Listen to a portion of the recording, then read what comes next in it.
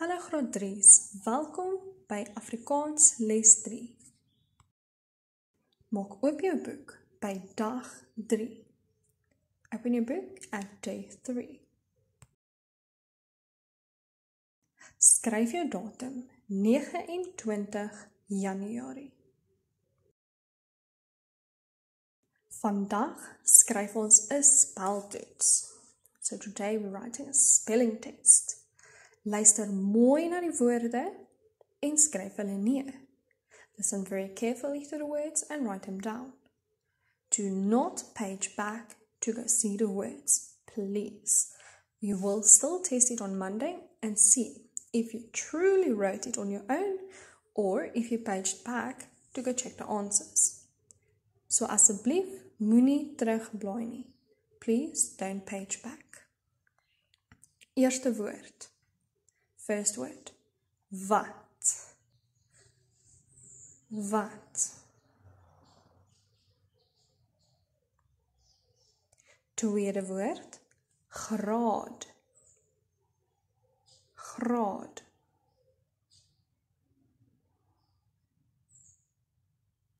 Derde woord.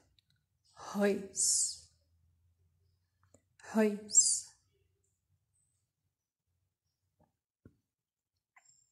Vierde woord muis. Muis. En jou laaste woord, jou laaste woord, naam. Naam.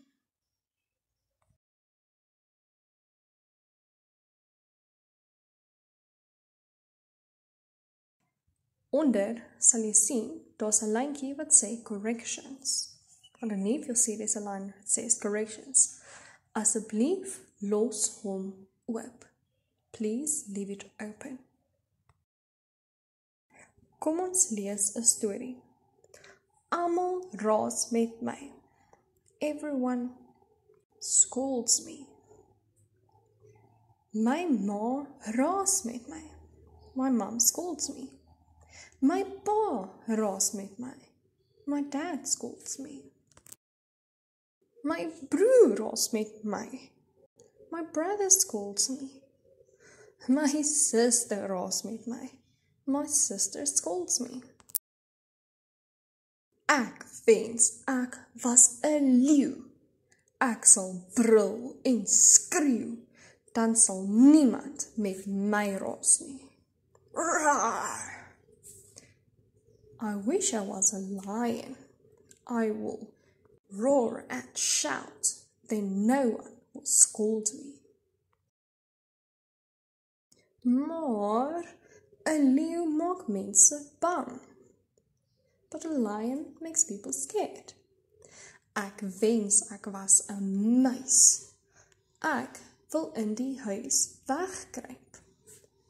I wish I was a mouse. I want to hide in the house. Maar katte on my phone.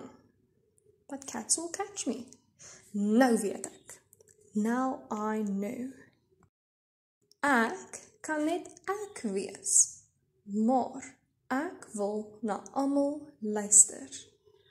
I can be myself, but I want to listen to everyone. Wat dink jy gaan Binkie nou doen? What do you think she's going to do now?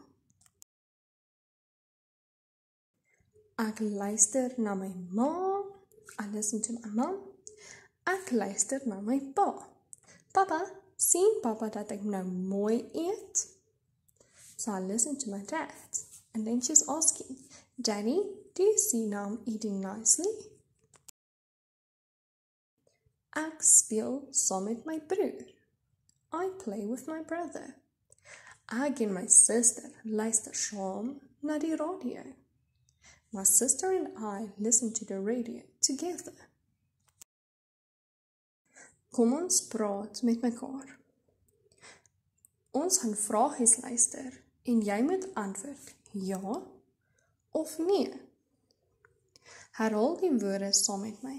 Repeat the words with me. Nommer 1. Raas jou ma soms met jou? Do you know what that means? Do your mum and dad also scold you sometimes? Antwoord ja of nee. Remember, ja means yes, nee means no. Vraag 2. Lees saam met my. Read with me. Word jy ook kwaad? You also get angry? Ja of nee? Vraag 3. Lees saam met my. Wil jy 'n leeu wees? Do you want to be a lion? Ja of nee? Vraag 4. Lees saam met my. Wil jy 'n muis wees? Do you want to be a mouse? Ja of nee? Vraag 5. Wil jy jouself wees? Hoekom sê jy so? Do you want to be yourself? And why do you say so? Try your best to answer that question in Afrikaans. Blaai om in jou boek. Nou gaan ons antwoorde skryf. Now we're going to write answers. Die eerste vraagie sê, the first question ask, wie raas almal met Binkie? Who are the ones that are scolding Bingy? Noem vier mense. So four people. Start with haar and go on, comma, on, comma, on, en, and the last name. Let's look in your book how you must go and write. Haar, hm, comma, haar, hm, comma, haar, hm, en haar, hm. Skryf die vier mense wat met Pinkie raas. Remember you are allowed to go back into the video and go look for your answer. Vraagie 2. Wat wil Pinkie graag wees?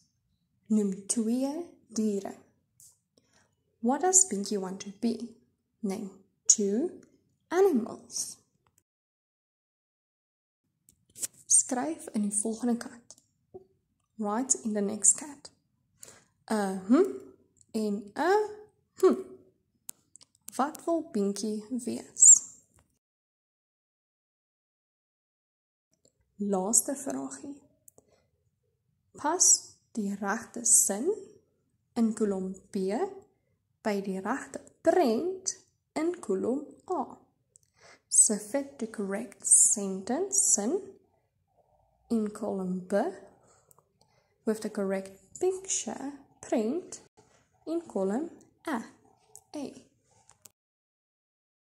Plak die papier wat jy hulle maandag gekry het. Paste the paper you got on Monday. Trek 'n lyn van die prentjie na die regte sin. So draw a line from the picture to the correct sentence.